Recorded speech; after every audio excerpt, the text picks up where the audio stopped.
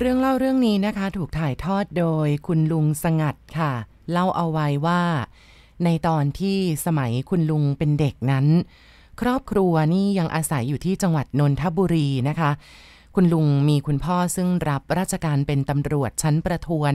ยศในสิบค่ะ ส่วนแม่ก็เป็นแม่ค้า ขายผลไม้เล็ก ๆ น้อยๆตามฤดูกาลอยู่ที่หน้าบ้าน โดยมีการปลูกเป็นเพิงมุงสังกะสี ยื่นออกไป แล้วก็ปูด้วยแผ่นไม้กระดาน พอได้วางผลไม้ต่างๆ แล้วก็นั่งขายได้อย่างสบาย ครอบครัวก็ยังมีรายได้ประจำอีกทางหนึ่ง นั่นก็คือ มีรถสามล้อถีบให้เช่าอีกสี่คัน แม่บอกว่าคนที่มาเช่ารถสามล้อถีบรับส่งผู้โดยสารนั้น มักจะมีปัญหาชวนให้หงุดหงิดอยู่บ่อยๆ โดยเฉพาะเรื่องการติดค้างค่าเช่าเอาไว้ก่อน ซึ่งเจอเป็นประจำ หากว่าใจดี แล้วก็ยอมให้ติดค้างค่าเช่าหลายวันแล้วล่ะก็ รับรองเลยค่ะหนี้เก่าหายหนี้ใหม่ก็จะได้ไม่ครบ แล้วก็ด้วยเหตุนี้นี่เอง คุณแม่เลยจำเป็นจะต้อง สวมบทบาท วิญญาณเจ้าของรถสามล้อ ให้เช่าที่ปากร้ายไปโดยปริยายมีอยู่ครั้งหนึ่งนะคะ มีหนุ่มโคราชชื่อว่าวันชัย ได้มาเช่าสามล้อของแม่ เอาไปทำมาหากิน นายวันชัยคนนี้แกเป็นคนดีค่ะ ขยันขันแข็งถีบสามล้อ หาผู้โดยสารทั้งวัน ไม่เหมือนกันกับสามล้อส่วนมาก ที่พอได้ลูกค้าสักเที่ยวสองเที่ยวแล้วก็มักจะจอดหลบแดด แต่ว่าอยู่แต่ในร่มก็จับกลุ่มพูดคุยกันอย่างสนุกสนาน หรือไม่ก็ตั้งวงโขกหมากรุกกัน บางคนก็ถือโอกาสนอนรับลมหลับมันซะเลย นอกจากนายวันชัยจะขยันหารายได้ ไม่เห็นแกเหน็ดเหนื่อยแล้วนะคะ เขาเองก็ยังมีนิสัยสุภาพอ่อนน้อม พูดจาไพเราะทำให้ผู้โดยสารนิยมเรียกใช้บริการเยอะเป็นพิเศษ แล้วก็รู้สึกว่าเขาเนี่ยจะมีลูกค้าประจำหลายคนเลยจำได้ว่าตอนที่คุณวันชัยเนี่ยมาปั่นสามล้อนะคะ ตัวของคุณลุงเองค่ะ ก็ยังชอบเขา ทั้งที่ไม่เคยได้คุกคีกับเขาเท่าไหร่นัก ในวันชัยนี้แม้ว่าจะเป็นคนหนุ่มวัยเพียงแค่ 22-23 ปี กลับมีการประพฤติตรงกันข้ามนะคะเหล้าไม่ดื่มบุหรี่ไม่สูบค่ำมืดดึกดื่นแค่ไหนก็ยังตระเวน หาผู้โดยสารไม่ยอมเลิก หรือไม่ก็มาจอดอยู่ที่หน้าโรงหนังบ้าง ที่ท่าน้ำนนบ้าง เพื่อมาคอยรับส่งผู้โดยสารค่ะ ตรงข้างทางเดินที่จะลงไปศาลาท่าน้ำเมืองนนท์มีแม่ค้าบัวลอยไข่หวานเจ้าหนึ่ง เป็นแม่ไม้สาวใหญ่ รูปร่างหน้าตาคมขำเรียกว่าเข้าขั้นสวยทีเดียว มีหนุ่มน้อยหนุ่มใหญ่ในละแวกนั้นมาติดพันกันหลายคน แต่ว่ายังไม่มีใครเอาชนะใจแม่ค้าคนนี้ได้ แม้แต่คนเดียวนะคะนายวันชัยนี้ก็เป็นอีกหนุ่มหนึ่งที่มักจะแวะเวียนไปอุดหนุนบัวลอยไข่หวานเป็นประจำเลยละค่ะ ประกอบกับ เป็นทำเลที่เขาเนี่ยมักจะไปจอดรอ รับลูกค้าอยู่เป็นประจำ จึงเป็นโอกาสให้กับหนุ่มวันชัยนั้น ได้ทำความสนิทสนมคุ้นเคยกันกับแม่ไม้สาว ยิ่งกว่าชายอื่นที่พากันหมายปอง แล้วก็ว่ากันว่าไม้สาวคนสวยคนนี้เนี่ยดูท่าทางจะมีใจให้กับหนุ่มวันชัยเป็นพิเศษ แต่มันก็เกิดเหตุไม่คาดฝันขึ้นนะคะ เรียกว่าเป็นความสยองชวนสังเวชใจในค่ำคืนหนึ่ง คือในขณะที่นายวันชัยจอดรถสามล้อ นอนอยู่ใกล้ท่าน้ำนน เพื่อรอรับผู้โดยสาร พวกแม่ค้า พวกพ่อค้าตอนเช้ามืด แล้วนั่นก็เป็นคืนสุดท้ายที่นายวันชัยยังมีชีวิตอยู่ ในตอนดึกสงัดไม่ทราบว่าเวลาเท่าไหร่นะคะ มันมีเงาดำของใครสามคนรายล้อมเข้ามาหาร่างของหนุ่มวันชัยที่หลับสนิทอยู่บนเบาะรถสามล้อ พวกเขาใช้อาวุธปลายแหลมเป็นมีดนะคะ กระหน่ำแทงตรงหน้าอกแล้วก็ลำตัวถึง 10 กว่าแผล เลยเป็นผลให้หนุ่มนิสัยดีพูดรักการทำมาหากินนั้น เสียชีวิตคาเบาะรถ จากนั้นคนร้ายก็ค้นเอาเงินที่ติดตัวนายวันชัยอยู่แล้วก็หลบหนีไป พ่อซึ่งเป็นตำรวจเจอเรื่องพวกนี้มาเยอะ ท่านเล่าให้แม่ฟังว่า การฆาตกรรมในครั้งนี้ ตำรวจเนี่ยได้ตั้งเอาไว้ 2 ประเด็นก็คือ 1. ละฆ่าชิงทรัพย์แล้วก็ 2. ชู้สาว แล้วก็กำลังสอบสวน หาตัวคนร้ายอยู่ สาเหตุการตายในครั้งนี้จะเกี่ยวพันกันกับ แม่ไม้สาวคนสวย ซึ่งเป็นแม่ค้าบัวลอยหรือเปล่า อันนี้ก็ไม่มีใครทราบสามล้อมรณะคันนั้น แม่เนี่ยไปรับคืนมาจากโรงพัก แล้วก็จัดการพ่นสีใหม่ก่อนจะนำไป ให้หลวงพ่อที่วัดบางแพรกเหนือทำพิธีปัดรังควานให้เป็นที่อุ่นใจนะคะว่า วิญญาณของนายวันชัยนั้นจะไม่มาวุ่นวายกับรถสามล้อคันนี้อีก ต่อมามีคนมาเช่าสามล้อคันที่นายวันชัยถูกฆ่าตายคารถไปถีบหารายได้ค่ะ โดยที่ไม่ได้ระแคะระคายเรื่องนี้เลยว่า รถคันนี้นี่มีประวัติ เรื่องความสยองอะไรเกิดขึ้นบ้างอย่างไรเรื่องน่าแปลกที่คนเช่าสามล้อคันนี้นำรถออกไปตระเวน รับผู้โดยสารได้ไม่เกิน 3-4 วันค่ะ ก็นำรถมาคืนให้กับแม่ บอกว่าเขานี่หาเงินไม่ได้เลย ไม่มีใครเรียกรถให้ไปรับแม้แต่รายเดียว ขนาดผู้โดยสารยืนอยู่ข้างๆ ถนนแท้ๆ เมื่อถีบสามล้อผ่านไปใกล้ ผู้โดยสารก็ไม่เรียก แต่ไปเรียกสามล้อคันที่วิ่งตามหลังมาอย่างดื้อๆทำคล้ายกับมองไม่เห็นรถเขาอย่างนั้นแหละ เหตุการณ์เหล่านี้ไม่ได้เกิดขึ้นแค่ครั้งเดียวนะคะ แต่ว่าเกิดทุกวันจนกระทั่งเขาเนี่ยไม่สามารถที่จะหารายได้มาจ่ายค่าเช่ารถซะด้วยซ้ำ ตอนแรกเนี่ยแม่ก็ไม่ได้คิดอะไรมาก แต่ว่ามีคนมาเช่าสามล้อ คันนี้หลายต่อหลายคน เมื่อเอาไปถีบหารายได้ไม่กี่วันก็ต้องนำรถมาคืน บอกเหตุผลเหมือนกันหมด คือไม่มีผู้โดยสารเรียกใช้บริการค่ะคราวนี้แม่ชักจะเอะใจก็เลยเรียกคนเช่าสามล้อรายอื่นมาถาม พร้อมทั้งลงทุนออกไปสืบเสาะหาสาเหตุด้วยตัวเอง ว่าทำไมสามล้อคันที่นายวันชัยถูกฆ่าตายนั้น มันมีอาถรรพ์อะไรกันนักกันหนา ถึงกับเมื่อมีคนมาขอเช่าเอาไปถีบแล้วกลับหาเงินไม่ได้เอาซะเลยคำตอบที่แม่ได้นี่เล่นเอาขนลุกเหมือนกันนะคะ นั่นคือสาเหตุที่ผู้โดยสารไม่เรียกสามล้อคันนี้มารับส่งก็เพราะว่า เขาเห็นว่ามีคนโดยสารนั่งอยู่แล้วตลอดเวลานั่นเอง คือผู้โดยสารหลายรายค่ะ เห็นผู้ชายนุ่งกางเกงขาสั้น สวมเสื้อยืดสีขาวแบบเดียวกันกับ ชุดที่ผู้ถีบสามล้อชอบใส่ แล้วก็นั่งก้มหน้า เอาคางชิดอก ตัวตรงแข็งทื่อ ไม่เหลือบแลเหลียวมองอะไรตลอดทาง ทั้งที่ความเป็นจริงในเวลานั้น ไม่มีใครนั่งอยู่บนเบาะใต้ประทุนสามล้อแม้แต่คนเดียว คนถีบสามล้อก็ยืนยันนะคะว่ายังไม่ได้รับใครขึ้นมานั่งเลย เมื่อเขาหันไปมองข้างหลัง มันก็มีเพียงแค่เบาะว่างเปล่า บ้างก็สงสัยในเรื่องของน้ำหนักรถ รถเปล่าทำไมมันหนักผิดปกติ แต่ก็คิดกันไปค่ะว่าคงจะเป็นความฝืดของล้อ หรือว่าเพาซะมากกว่า เอ๊ะทำไมคนจะเรียกใช้บริการถึงเห็นว่า มีผู้โดยสารมานั่งอยู่ก็ไม่รู้คนอื่นที่ไม่รู้ประวัติสามล้อคันนี้ก็ย่อมไม่รู้สาเหตุที่แท้จริง ว่าทำไมถึงได้เกิดเหตุการณ์แบบนี้ขึ้น แต่สำหรับพ่อกับแม่เนี่ยรู้อยู่เต็มอกแล้วล่ะ ว่าผู้โดยสารลึกลับที่ปรากฏอยู่บนสามล้อตลอดเวลานั้น เป็นใครไปไม่ได้ค่ะ นอกจากดวงวิญญาณของนายวันชัย ที่ยังคงห่วงหาอะไรเครื่องมือทำกินของตัวเองอยู่ ตกลงว่าแม่ก็เลยเก็บรถสามล้อคันนั้นเอาไว้ใต้ถุนบ้าน เพราะไม่มีใครมาเช่า จนกระทั่งเวลาล่วงเลยไปประมาณ 20 วันนะคะ แม่ก็จัดการขายสามล้อเจ้าปัญหาคันนั้น ให้กับเท่าแก่ที่ให้เช่ารถสามล้อถีบ อยู่ทางปทุมธานี ด้วยราคาที่ถูกเหลือเกิน แม้ว่าพ่อจะพูดจาทัดทานยังไงแม่ก็ไม่ฟัง จัดการให้เท่าแก่ผู้ซื้อเอารถกระบะเนี่ยมาขนเอาในวันนั้น สาเหตุที่แม่ตัดสินใจขายสามล้อคันนี้นะคะ ก็คือเนื่องมาจากคืนหนึ่งพ่อเนี่ยไปเข้าเวรที่โรงพัก ในบ้านนั้นมีเพียงแค่แม่กับตัวของคุณลุงเจ้าของเรื่องอยู่กันสองคน แม่บอกว่า ตกดึกประมาณเที่ยงคืนตีหนึ่งนี่แหละ ในช่วงนั้นตัวของคุณลุงเองแกหลับอยู่นะคะ แต่ว่าแม่นอนไม่หลับ เนื่องจากว่ามันมีหมาจรไม่รู้ว่ามาจากไหน มาเห่ามาหอนอยู่ตรงถนนซอยหน้าบ้าน แม่ก็นอนไม่หลับอะนะคะ เลยลุกขึ้นมาค่ะ ก็เห็นหมามันทั้งเห่าทั้งกระโชกสลับกันกับ โก่งคอหอนประสานเสียงโหยหวนเป็นระยะ แม่โมโหเลยเปิดประตูคว้าไฟฉายเดินลงบันไดไป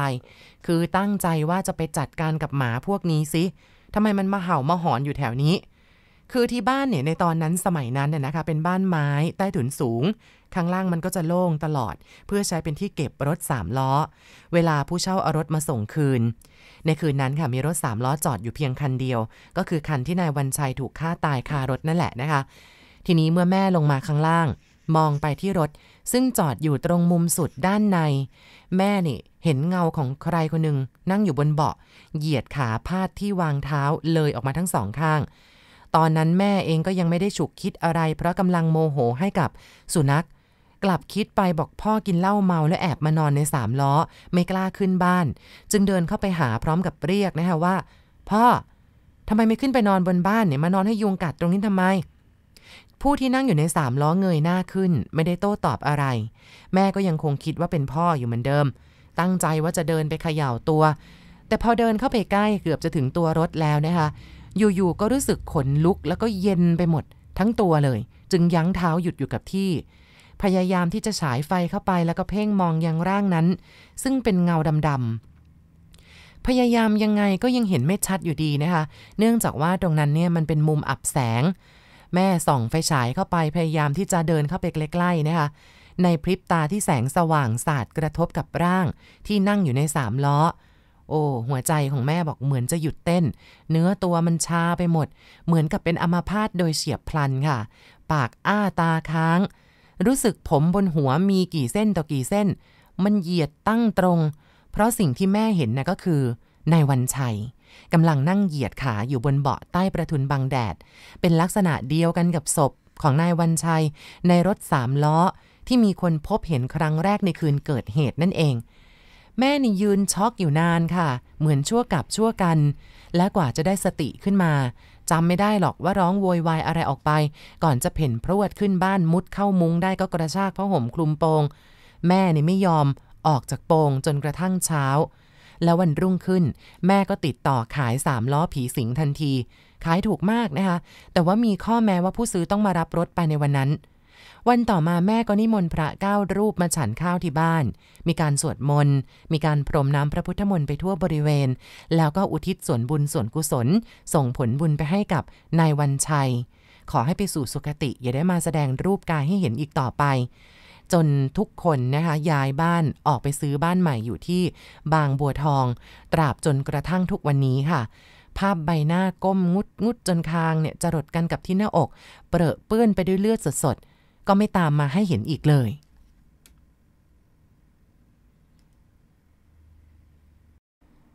คุณสุดาเล่าถึงกลางดึกของคืนหนึ่งค่ะ คุณเปิ้ลกับสามีของเธอเนี่ย กลับมาจากตลาด ต้องบอกคุณผู้ฟังแบบนี้นะคะ คือคุณเปิ้ลนั้นเป็นเพื่อนกันกับคุณสุดา คุณเปิ้ลได้มาเล่าให้กับคุณสุดาฟัง คุณสุดาเลยถือโอกาสถ่ายทอดให้เราได้ฟังกันอีกรอบหนึ่งนะคะ คือเวลานั้นคุณเปิ้ลกับสามีกลับมาจากตลาด ก็เลยสองยามไปแล้ว เนื่องจากว่าสามีของเธอนี่เมาเละเทะอ้วกใส่ทั้งเสื้อทั้งกางเกงตัวเองเปรอะเปื้อนไปหมด ดังนั้นค่ะเมื่อกลับมาถึงบ้านผู้เป็นภรรยา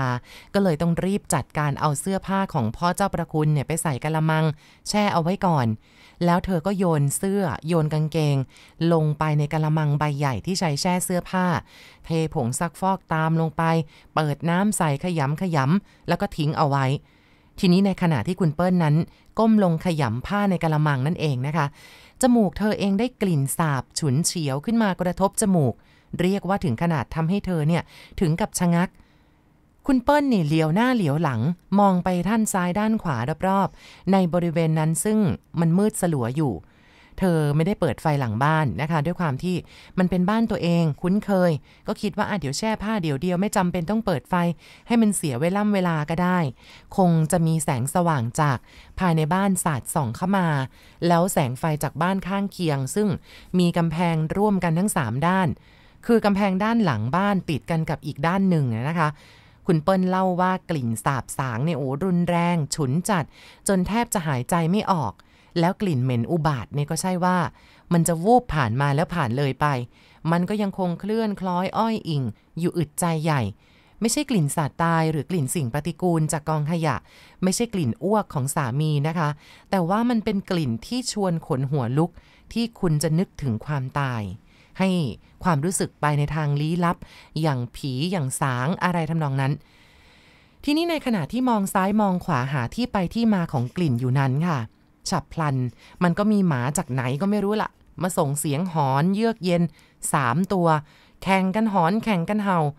หมาตัวหนึ่งนี่ดังมาจากด้านซ้ายมือ อีกตัวหนึ่งดังมาจากขวามือ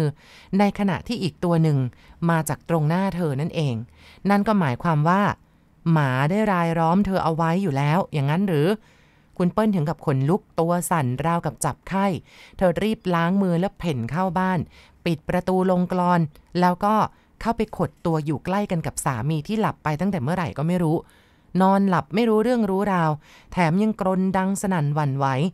แต่ว่าคืนนั้นเธอไม่ได้ตำหนิสามีที่กรนดังแม้แต่คำเดียวนะคะ ด้วยว่าเสียงกรนเนี่ยมันช่วยให้กลบเสียงหมาหอนลงไปได้บ้าง ทำให้หายหวาดกลัวไปตั้งเยอะ เพียงแต่ว่าในใจเนี่ยค่ะ ก็ยังอดคิดด้วยความพิศวงไม่ได้ว่าเอ๊ะไอ้เจ้ากลิ่นอุบาทเนี่ย มันล่องลอยมาจากที่ไหนกัน จนกระทั่งรุ่งเช้าคุณเปิ้ลตื่นนอน เข้าครัวเสียบกระติกน้ำร้อน ชงกาแฟกาแฟให้สามีก่อนอันดับแรกเขาว่าคนเมาจัดมีอาการเมาค้าง ในตอนเช้านี่มันทารุณนัก ทั้งหิวทั้งคอแห้ง ทั้งกระหายน้ำอย่าบอกใครเชียว แต่ว่าการจะดื่มน้ำเข้าไปเพื่อดับกระหายเนี่ยไม่ควรทำอย่างยิ่งนะคะ เพราะว่าน้ำจะไปขย่าเอาเหล้าที่ตกตะกอนนอนก้นอยู่ในกระเพาะ ให้คลุ้งขึ้นมาอีกทำให้อาการเมาตีขึ้นมาอีกรอบได้เลย แล้วรอบนี้แหละจะหนักหนาสาหัสถึงขั้นอ้วกเป็นน้ำดีเขียวปีออกมา แต่พอเธอเข้าครัวไปเท่านั้น กลิ่นเนี่ยก็ลอยวูบเข้ามาอีกคล้ายกับเป็นของเหลวไหลทะลวงเข้าไปในโพรงจมูกทำให้คุณเปิ้ลนั้นถึงกับผะอืดผะอมแทบจะอ้วก แล้วก็ให้รู้สึก สงสัยนะคะว่าเอ๊ะไอ้เจ้ากลิ่นเนี่ยมันเป็นกลิ่นของอะไร แล้วมันมาจากไหน เมื่อเธอคิดแบบนั้นเลยลงมือค้นหาที่มาของกลิ่น ตามซอกโน้นตามมุมนี้ทั่วทั้งบ้านแล้วก็นอกบ้าน แต่ก็ไม่พบนะคะ และเมื่อกลับเข้าครัวอีกครั้ง กลิ่นวายร้ายก็ตามมา พอแป๊บหนึ่งก็หายไป ไม่เหลือร่องรอยอะไรแม้แต่นิดเดียว ตอนนั้นเสียงเพลงชาติดังมาจากโรงเรียนซึ่งห่างไปประมาณสัก 200 เมตร นั่นก็แสดงว่า8โมงครึ่งแล้วนะคะ มีเสียงคนเอะอะดังมาจากบ้านแทรกซ้อนกันเข้ามา บอกไอ้แหลมผูกคอตาย จากนั้นก็มีเสียงตะโกนถามกันวุ่นวายจากเพื่อนบ้าน รอบๆข้างคุณเปิ้ล คุณเปิ้ลเองก็วิ่งออกไปรวมกันกับเพื่อนบ้านที่ไปออกันอยู่หน้าบ้านยายทอง ซึ่งยายทองเนี่ยเป็นยายของนายแหลมนะคะ เธอไปร่วมเหตุการณ์กับเขาตั้งแต่เคลื่อนย้ายศพนายแหลมออกมาจากห้อง เอามาวางราบอยู่ข้างนอก แก้ผ้าเขาม้า ซึ่งเป็นสื่อมรณะออกดู เขาเช็ดเนื้ออ่าแล้วก็ดูเขาทำความสะอาดศพ ในขณะที่ยืนดูเธอก็คร่ำครวญหวนนึกถึงกลิ่นสาบสาง ที่เธอได้กลิ่นเมื่อคืนแล้วก็ตอนเช้า เธอคิดว่าเอ๊หรือนี่จะเป็นกลิ่นของนายแหลม คิดด้วยความเสียวสยอง แต่ว่า ตอนนี้เธอกลับไม่ได้กลิ่นอะไรเลย ทั้งๆทที่ยืนห่างจากศพไม่ถึงว่านแหลมคนนี้ค่ะคุณผู้ฟังเป็นเด็กหนุ่ม อายุราวๆ 16-17 ปี เรียนหนังสืออยู่ที่วิทยาลัยในตัวเมือง เป็นคนเงียบๆ ไม่ช่างพูด แล้วก็ขี้น้อยใจ เป็นหนุ่มรุ่นน้องที่คุณเปิ้ลดีด้วย ในฐานะที่อยู่บ้านติดกัน เท่าที่ได้ยินมาในแหลมนี่มีปัญหาเกี่ยวกับความรักอะไรทำนองนี้แหละ แบบว่าน้อยใจที่รักเขาข้างเดียว แต่นึกไม่ถึงว่าจะนำไปสู่การฆ่าตัวตายแบบนี้นะคะ เหตุการณ์เริ่มมาตั้งแต่ตอนหัวค่ำแล้ว แต่ว่ายายทองซึ่งอายุแกก็ 70-80 ปี หูตาฝ้าฟาง แล้วแกก็ไม่ได้ยิน แกไม่ได้เข้าไปดูหลานในห้อง ส่วนพี่น้องคนอื่นไม่อยู่บ้านค่ะ เลยไม่รู้ว่าหลานชายนั้นได้ผูกคอตายไปซะแล้ว มาตอนเช้าไปเรียกหลานเท่าไหร่ก็ไม่ขาน แกเข้าไปก็เห็นร่างไร้วิญญาณของหลานเนี่ยห้อยตรงเตงอยู่กับคือ แล้วก็ลิ้นจุกปากไปแล้ว แกก็ตะโกนโวยวาย นั่นแหละค่ะ ถึงได้มีเสียงดังออกมาคนถึงแห่เข้าไปดู งานศพในแหลมผ่านไป เรื่องของเขาก็ค่อยๆซาจากวงคุยของชาวบ้านแต่ว่าสิ่งเดียวที่ทำให้นึกถึงกลิ่นสาบสางแล้วก็ตัวของนายแหลมนั่นก็คือ ผ้าขาวม้า ที่ใช้ผูกคอตายผืนนั้นแม่เท่าทองเนี่ยไม่ได้ทิ้งนะคะ แต่ว่าเอามาซักแล้วตากลืมไว้ตรงราวหลังบ้านของแก ทุกครั้งที่คุณเปิ้ลเข้าครัวไปในบ้านของเธอ จะมองเห็นในแหลมอยู่ตรงนั้นเป็นประจำ ตอนนี้มีแต่ผ้าขาวม้าผืนนั้นตากอยู่ มองแล้วบางทีก็อด ทั้งกลัวทั้งสงสารเจ้าของไม่ได้ จนกระทั่งเวลาผ่านไปร่วมเดือน คุณเปิ้ลร่ำร่ำว่าจะลืมเรื่องร้ายนี้ไปแล้วแต่ว่าเหตุการณ์ร้ายกาจยิ่งกว่าเก่า มันก็เกิดขึ้น คือใกล้ค่ำวันหนึ่งค่ะ คุณเปิ้ลเนี่ยกินข้าวแล้วเก็บจานไปล้างหลังบ้าน บริเวณที่ใช้ซักผ้านั่นแหละ เธอนั่งหันหน้าเข้ากำแพง หันหลังให้กับประตูครัว ในขณะล้างจานเพลินๆอยู่เนี่ย กลิ่นสาบสางกลิ่นเดิมก็ไหลเข้าโพรงจมูก มันเหม็นหืนฉุนจัด แล้วก็หนาแน่น จนหายใจไม่ออก คุณเปิ้ลเองตกใจค่ะ ปล่อยจานในมือร่วงแตกกระจาย รู้สึกขนลุกขนชันขึ้นทันที ภาพร้ายกาจชวนจับไข้หัวโกรนตอนที่เธอเงยหน้าขึ้น นั่นก็คือในแหลมค่ะ นั่งห้อยเท้าแกว่งไปแกว่งมา อยู่บนขอบหน้าต่าง ตรงกันกับราวตากผ้า อ้าปากพงาบพงาบ เห็นฟันขาววับ เขาชูผ้าขาวม้าที่ยังคล้องคออยู่กวัดแกว่งไปมาทำท่าจะปีนขื่อขึ้นไปแล้วก็จะผูกคอตายเหมือนเดิม พร้อมกับส่งเสียงมาให้คุณเปิ้ลได้ยินว่าพี่เปิ้ลพี่เปิ้ลอย่าไปรักใครนะพี่เปิ้ลอย่าไปบอกใครนะ จากนั้นสติสัมปชัญญะของคุณเปิ้ล ก็ดับวูบไป ไม่เหลือร่องรอยของความทรงจำว่ามันเกิดเหตุการณ์อะไรขึ้นต่อจากนั้นอีกเลยนะคะ และนี่ก็เป็นเรื่องราวที่คุณเปิ้ลได้ถ่ายทอดให้กับคุณสุดาเพื่อนรักได้ฟัง กับเหตุการณ์ชวนขนหัวลูกขนหัวตั้ง จากเพื่อนบ้านข้างๆ นี่แหละนะคะ เป็นวิญญาณของผีตายโหงค่ะ ผูกคอตายแล้วก็กลายมาเป็นวิญญาณ คอยหลอกหลอนคนบ้านข้างๆ แต่บางทีเขาก็อาจจะไม่ได้ตั้งใจหลอกหรือเปล่า อาจจะเจอโดยบังเอิญหรือว่าอะไรยังไง ที่เขาต้องวนกลับมาผูกคอตาย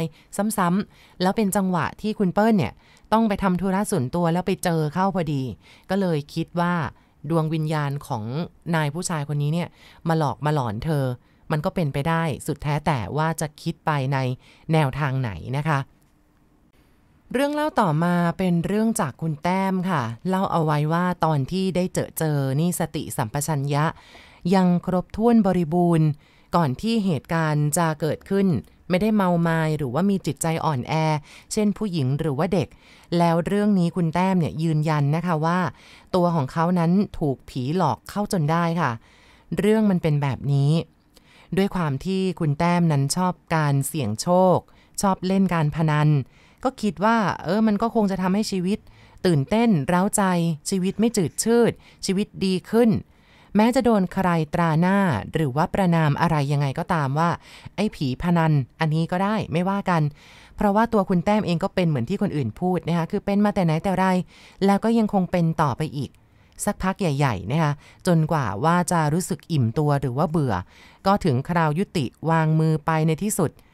คืนที่ต้องจดจำแล้วก็จดจำได้แม่นมาก คือคืนที่หมดตัวออกจากบ่อน แถวตลาดน้อย ทันทีที่ไม่เหลือเงินติดตัว เครดิตต่างๆ ก็พลอยไม่เหลือหลอไปด้วย เพื่อนฝูงที่รู้จักมักจีกันในบ่อน ก็เมินหน้าหนีหายไปเหมือนกลัวว่า จะนำพาเชื้อโรคร้ายที่เรียกกันว่าความซวย แพร่เข้าไปหาพวกเขาด้วยคุณแต้มนี้ไม่มีเพื่อนพ้องคนไหนที่จะจุนเจือเกื้อกูลจำเป็นต้องเดินโตเต๋ส่วนเซอย่างคนโซออกจากบ่อน เจ้ากรรมจริง ๆ ทั้งความอ่อนเพลีย ทั้งความหิวโหย มันสามัคคีกันเหลือเกิน ประเดประดังรุมจู่โจมอย่างไม่ตั้งตัว คล้ายกับว่ามันจ้องจะเล่นงาน อยู่ก่อนหน้านี้แล้ว ก็เล่นเอาคุณแต้มร่ำร่ำจะเป็นลมซะให้ได้ ก็ต้องแก้วิกฤตนี้อย่างรวดเร็ว ก่อนที่ตัวเองจะเป็นอะไรไป สถานที่แห่งแรกที่นึกถึงก็คือวัดค่ะ วัดที่กำลังมีงานศพนี่แหละ คือตอนนั้นงานศพตามวัดวาอารามต่างๆ ในกรุงเทพนั้น นับว่าเป็นที่ที่คนจร คนร่อนเร่พเนจรทั้งหลายจะใช้เป็นที่แก้ปัญหาเฉพาะหน้า ซึ่งมักจะเกิดขึ้นในชีวิตที่อนาถาอยู่เสมอ เนื่องมาจากว่าการใช้ชีวิตแบบวันต่อวันแล้วก็ไม่มีหลักประกันอะไรเลย เหมือนจอกแหนล่องลอยไปในบึงใหญ่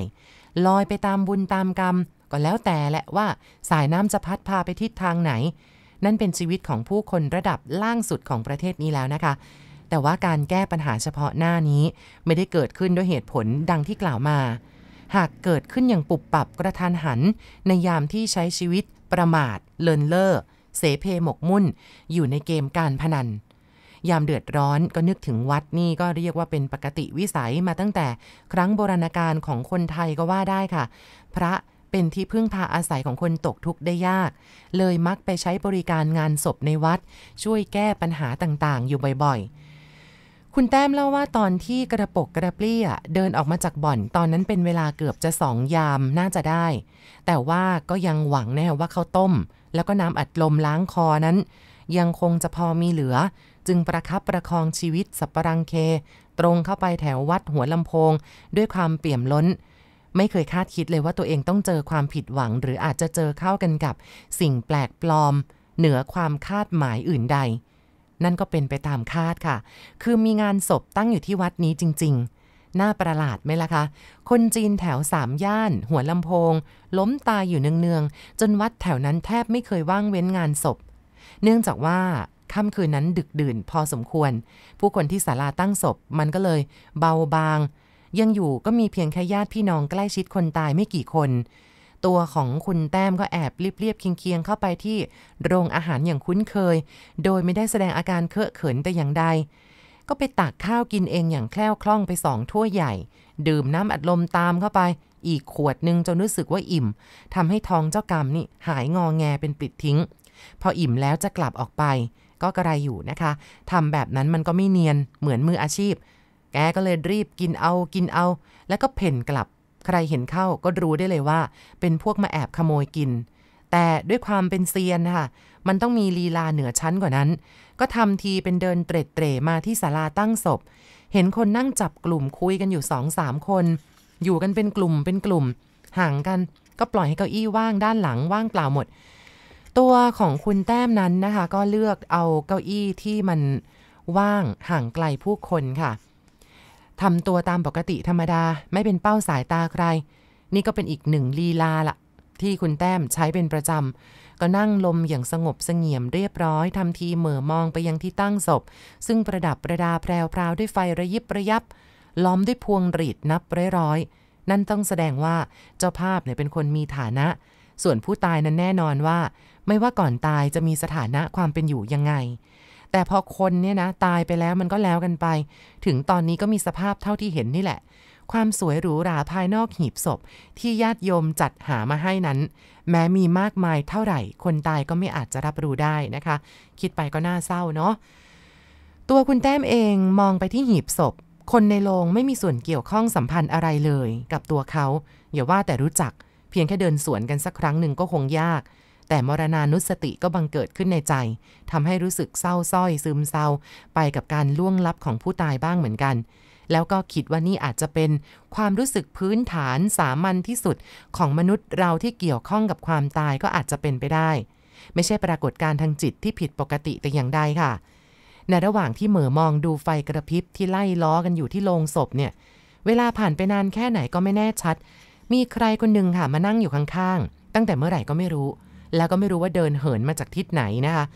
เป็นผู้หญิงวัยกลางคนผิวขาวแบบผู้ดี สวมเสื้อสีขาวแขนยาว ตัดผมสั้นแค่คอค่ะ เผยให้เห็นต่างหูมุกคู่งาม นี่เป็นภาพที่พิจารณาเอาจากด้านหลัง พอรู้สึกตัวทั้งแปลกใจทั้งอึดอัดใจผสมกัน เพราะเก้าอี้ยังถูกปล่อยว่างอยู่ทั่วไป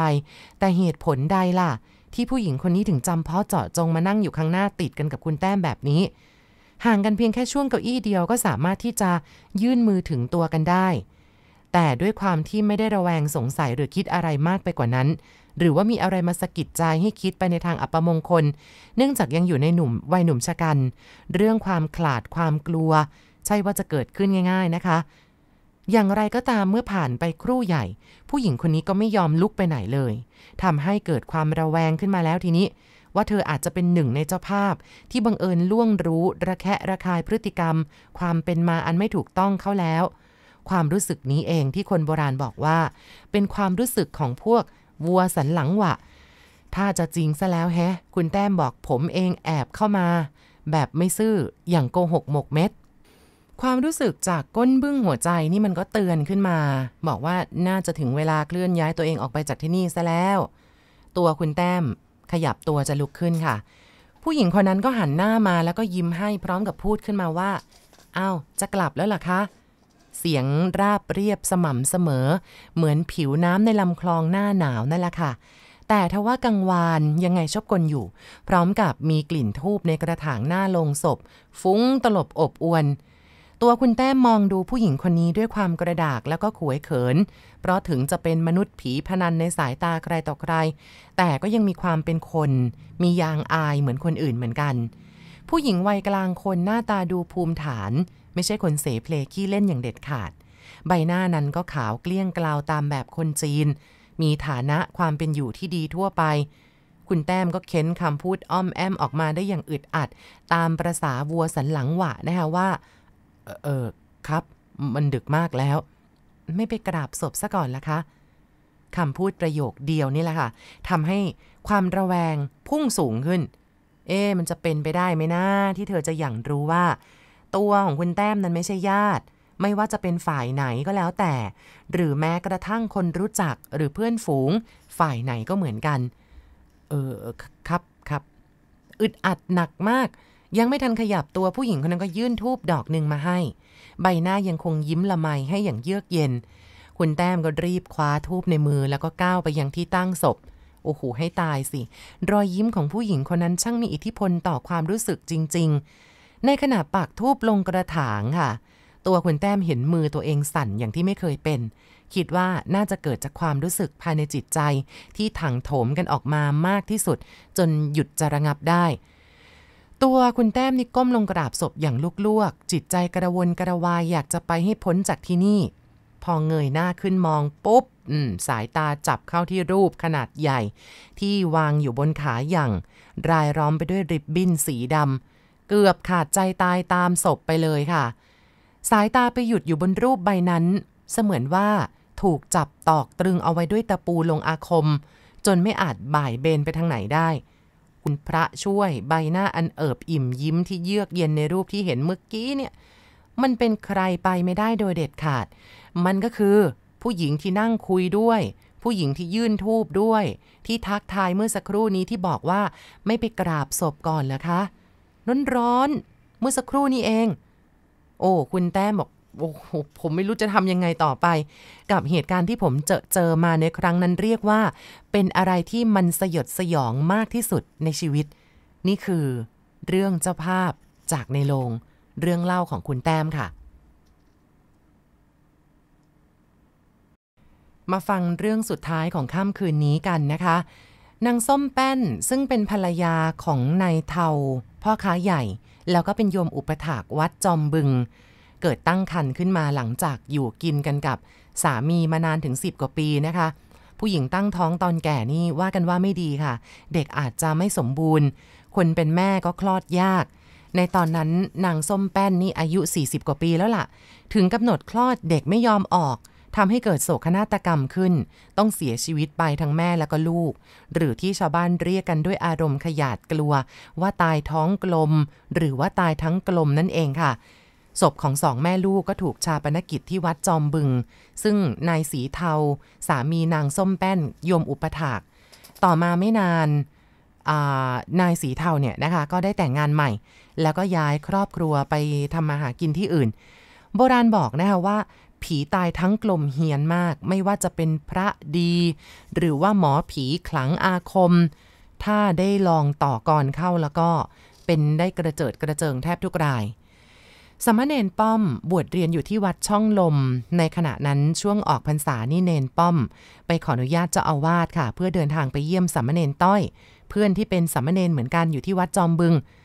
ระยะทางระหว่างวัดช่องลมที่อยู่ในตัวเมืองราชบุรีกับวัดจอมบึงนี่ห่างกันราวๆสัก 30 กิโลเมตรนะคะ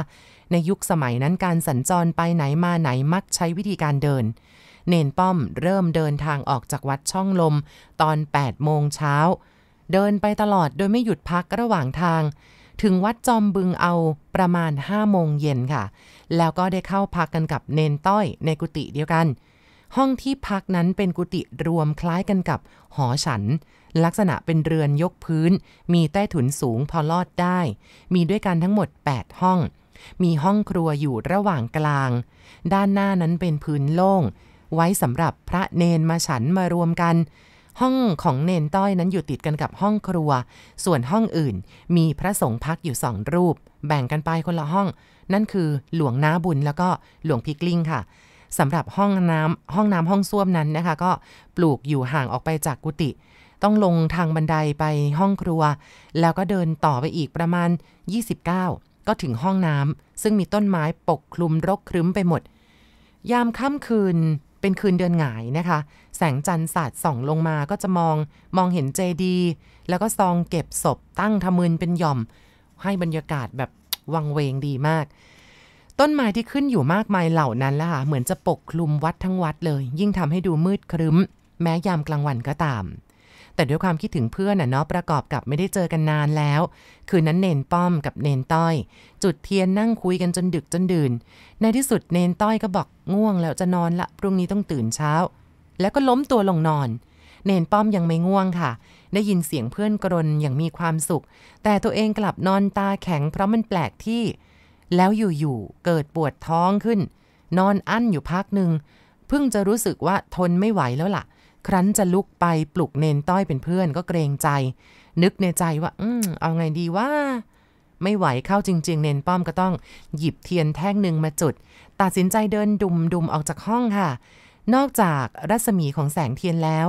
แม้ไกลออกไปเพียงแค่คืบก็มืดมิด แทบมองไม่เห็นอะไร มืดแล้วก็วังเวงอย่างบอกไม่ถูกซะด้วย แต่จะมัวคิดมากหรือว่าทำชักช้าร่ำไรไม่ได้ข้าศึกมันโจมตี ยก แบบเบื้องล่างนี่แบบยกใหญ่เลยจนแบบทำนบจวนจะพังแหล่มิพังแหล่เนนป้อมกัดฟันกึ่งเดินกึ่งวิ่งตรงไปทางห้องครัว เพื่อลงบันไดห้องครัวไปยังห้องส้วม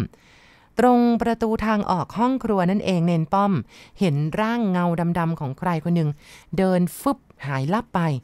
ก็นึกในใจว่าเอ๊ะนี่มันเที่ยงคืนกว่าแล้วนะ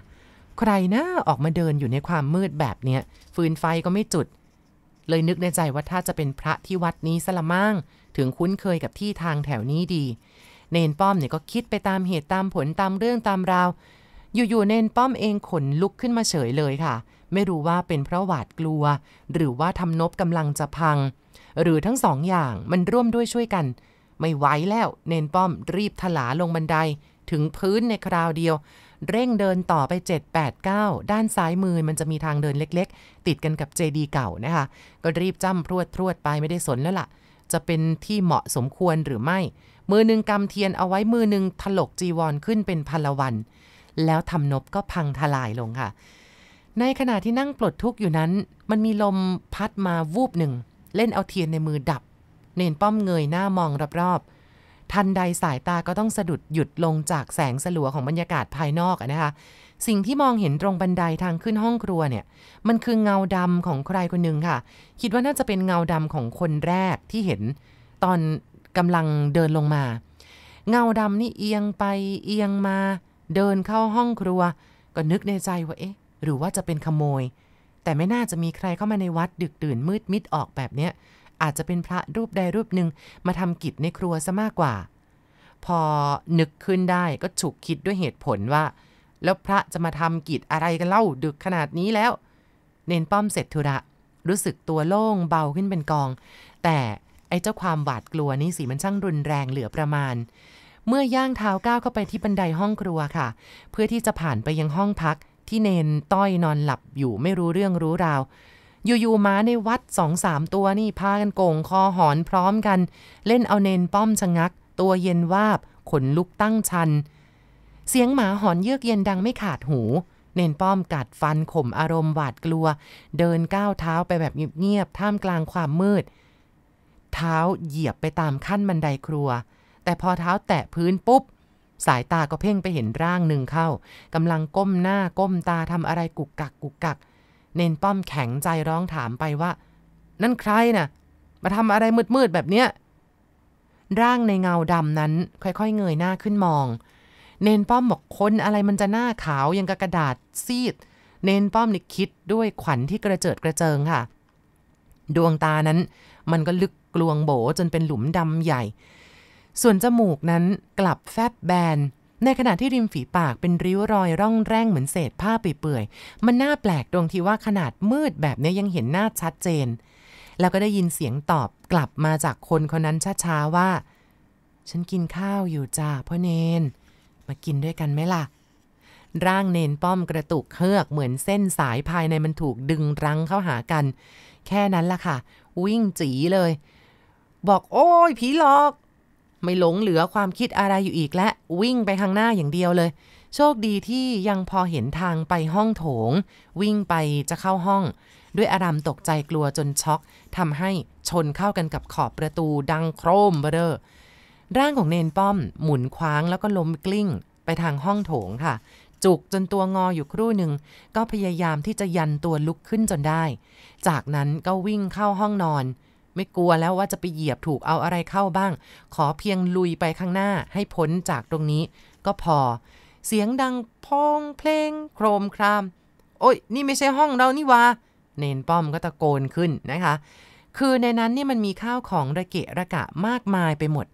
ในท่ามกลางความมืดมิดมือข้างหนึ่งควานไปถูกลังใบใหญ่ พอคลำไปเรื่อยๆเรื่อยๆ ถึงรู้นะคะว่า เอานี่มันโลงศพนี่ว่า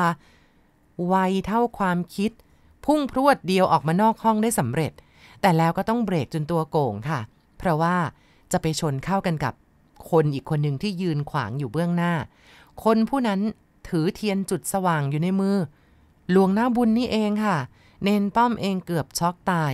ถอนหายใจอย่างโล่งอก หลวงน้าบุญตำหนิเสียงเครียดว่าเอะอะอะไรกันน่ะเนนค่อนคืนแล้วยังมาทำเสียงตึงตังโครมคราม ไม่เกรงใจคนอื่นเขา ผมผมผมไปซ่วมมา แล้วเข้าห้องผิดครับ บังเอิญเทียนดับ มองไม่เห็นทาง มันก็เลยสะดุดประตูล้มลงครับหลวงนะ ห้องที่เนนหลงเข้าไปเมื่อกี้เนี่ย มันเป็นห้องเก็บของเก่าที่ไม่ค่อยได้ใช้แล้วในวัดเนี่ยเนนป้อมเองก็รีรออ้ำอึง้งอยากบอกอยากเล่าเหลือเกินว่าตัวเองเจออะไร แต่อีกใจหนึ่งมันก็เตือนให้เฉยซะ คือการถูกผีหลอกในวัดยามดึกดื่นค่อนคืนอย่างนี้เนี่ยนะคะ ไม่ใช่ว่าใครจะอยากได้ยินนัก อีกอย่างหนึ่งเนนป้อมอดละอายใจตัวเองไม่ได้ ที่เกิดเป็นชายอกสามศอกสเปล่า อีกทั้งยังอยู่ในเพศบรรพชิต แต่กลับมากลัวผี เมื่อคิดได้แบบนั้น ก็รีบกลับเข้าห้องไปนอน ผ่านไปครู่ใหญ่เนนป้อมก็ยังหลับไม่ลงค่ะ นึกถึงเหตุการณ์ที่ผ่านมาเมื่อครู่เนี่ย นอนกระสับกระส่ายอยู่พักใหญ่ จนหนังตานั้นเริ่มหนัก แล้วก็กำลังจะเคลิ้ม ในตอนนั้นได้ยินเสียงเหมือนคนค้นตู้กับข้าว มีเสียงตักน้ำใส่ตุ่มด้วยนะ เสียงล้างจานชาม เสียงเทน้ำลงพื้น แล้วก็มีเสียงคนเดินไปเดินมาอยู่หน้าห้องครัว แล้วก็เดินเรื่อยมา จนถึงหน้าห้องที่เนนป้อมนอนอยู่ เนนป้อมเงี่ยหูฟังด้วยอาการแข็งทื่อเลย เสียงเดินมาหยุดกึกอยู่หน้าห้อง พร้อมกับเสียงเหมือนคนพยายามจะเปิดประตูค่ะ ไม่ได้การซะแล้วเนนป้อมนึก ประตูห้องกำลังถูกผลักดันตึงตึงตึง หมาที่อยู่ใต้ถุนก็พากันเห่ากันหอน เนนป้อมจะสติแตกอยู่รำร่อ ก็รีบมุดพรวดเข้าไปใต้ผ้าห่มของเนนต้อยอย่างรวดเร็ว จากแรงมุดแล้วก็กระแทกไปโดนตัวเพื่อนเข้าอย่างแรงนั่นแหละค่ะทำให้เพื่อนตื่น แล้วก็พลิกกลับมา ดึงผ้าห่มออกไปคลุมตัว มีเสียงแหบๆดังขึ้นอยู่ที่หน้าห้อง เต็มสองหูเลย เนนป้อม บอกว่า เสียงพูดขึ้นมาว่าเนน มาแย่งที่นอนฉันทำไมฉันหนาว แล้วก็เหม็นขี้ด้วย เสียงแหบๆเนี่ยนะคะ แม้จะไม่ดังนัก แต่มันกลับชอนชัยเข้าไปในหูของเนนต้อยได้อย่างประหลาด คราวนี้ทำให้เขาขยับตัวเข้าไปเบียดเนนป้อมบ้าง ตัวสั่นเทาแล้วก็ส่งเสียงพึมพำส่งออกมาเบาๆนะคะเสียงเนี่ยเหมือนกับคนละเมอบอก โอ้ยผีแย่แป้นเฮี้ยนอีกแล้ว เท่านั้นเองค่ะสามเณรเพื่อนรักทั้งคู่ก็กอดกันกลมดิกไปทีเดียว ไม่รังเกียจแม้กระทั่งเหงื่อที่เปียกชื้นเหนียวเหนอะหนะไปทั้งตัว ทั้งสองคน จนกระทั่งเช้ามืดได้เวลาพระออกบิณฑบาตเนนป้อมกับเนนต้อย ก็ยังคงนอนคุดคู้ซึมเศร้าผ่านไปจนกระทั่งสาย หลังจากฉันเช้าเสร็จแล้วเนนป้อม ก็รีบเข้าไปกราบลาท่านเจ้าอาวาสเพื่อกลับวัดช่องลมในตัวเมืองราชบุรี แล้วก็ยังมีเนนต้อยเพื่อนรัก ตามมาอยู่ที่วัดช่องลมด้วยอีกคนหนึ่งก่อนเดินทางกลับหลวงหน้าบุญได้บอกความจริงเรื่องผีนางส้มแป้น ที่คอยหลอกหลอนพระเนนผู้มาอยู่ใหม่ แล้วก็บรรดาชาวบ้านที่เข้ามาในวัดยามค่ำคืนเป็นประจำหลวงหน้าบุญบอก ฉันรู้ว่าเนนถูกผีนางแป้นหลอกเมื่อคืน เนนไปทำไม่ดีเอาไว้ที่เจดีใช่ไหมล่ะ เนนป้อมก็สารภาพไปตามความเป็นจริง หลวงหน้าบุญบอก ก็กระดูกนางแป้นเขาอยู่ที่เจดีนั่นเขาก็โกรธเอานะสิไปขี้รถหัวเขา นี่ก็เป็นเรื่องราวที่เรานำมาฝากคุณผู้ฟังอีกเรื่องหนึ่งนะคะ ในค่ำคืนนี้ เรื่องของวิญญาณนางแป้นค่ะ ที่ออกลูกแล้วก็เสียชีวิต เรื่องของผีเฮี้ยนใต้เจดีสำหรับพระเจอผีในค่ำคืนนี้ หมดเวลาลงเรียบร้อยแล้วล่ะค่ะ เจอกันใหม่ในวันพรุ่งนี้ค่ะ วันนี้ขอบคุณทุกการติดตามรับฟัง นอนหลับฝันดี ราตรีสวัสดิ์ค่ะ